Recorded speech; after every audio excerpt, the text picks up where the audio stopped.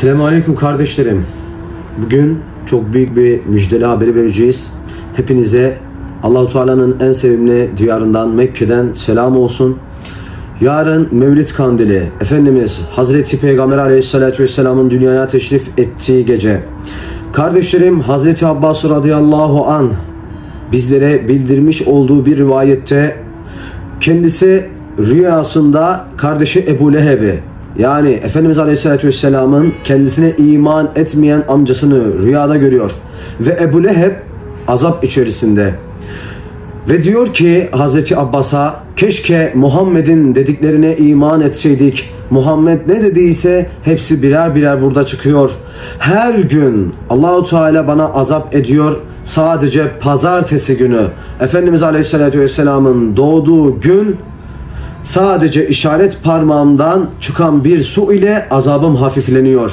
Ve Hazreti Abbas bunun sebebi nedir diye sorunca ben diyor Efendimiz Aleyhisselatü Vesselam Muhammed'in doğum haberi bana geldiği vakit o haberi getiren kölem Süveyde'yi azat ettim. O gün Muhammed dünyaya teşrif ettiği için sırf onun sevincinden dolayı o gün Süveyde adlı kölemi azat ettim ve bu yüzden Allahu Teala pazartesi günleri bana azap etmiyor buyuruyor.